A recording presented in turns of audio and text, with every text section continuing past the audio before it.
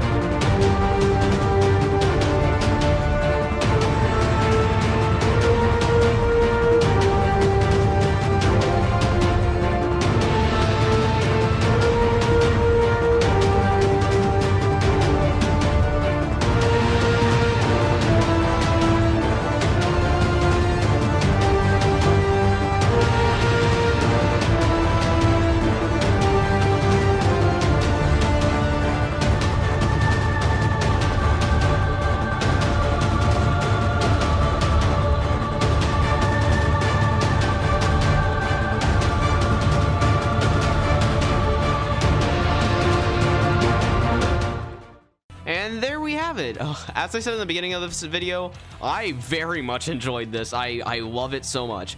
And my goal is to eventually be able to beat this, but it's going to take a very, very long time, as seen by just how hard this tower is. But uh, my personal uh, opinion on this on its difficulty, I think it is perfect where it is. High, terrifying, low, kata. And if this doesn't get ring 9, I'm going to, like, literally riot. But, uh, at the back of this sign, fun fact says, Fun fact, franchun04 is the best VB in JToH. Don't trust the sign above friend is best VB, franchun04. No, don't trust the sign above franchun04. Opinion don't count, so keep in mind QFriendX, works verified builder. But, um, before this video ends, I have just one thing to say. Friend best VB.